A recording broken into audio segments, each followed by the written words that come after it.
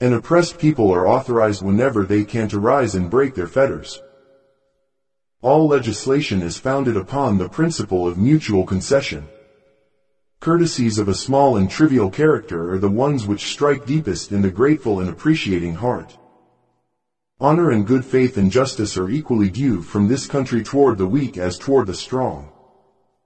I prefer the troubled ocean of war to the tranquil, putrescent pool of ignominious peace.